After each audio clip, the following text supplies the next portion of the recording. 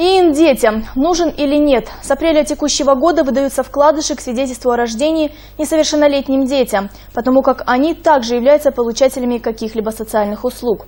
Что думают об этом родители и многие ли уже получили данный документ? С какими проблемами приходится сталкиваться горожанам при получении ИИНа? Расскажет Анель Шалкарбек.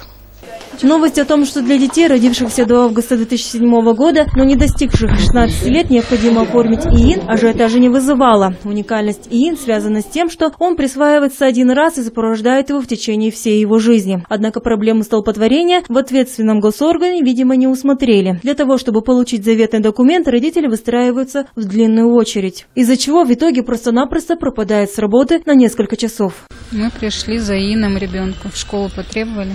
Вот мы пришли, сидим больше часа. Вот я после работы вот пришла, жду час пятнадцать, не знаю, сколько буду сидеть.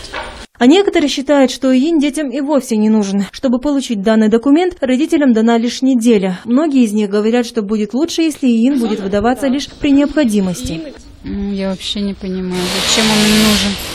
У скольких детей за эти дни в нижней части левой страницы свидетельства о рождении будет написано «присвоенный им» неизвестно. И в течение недели им все же удастся получить документ благодаря качеству и скорости обслуживания в ответственном учреждении. Анна Шалкарбек, Божан Алифов, Евгений Афанасьев, Первый Карагандинский.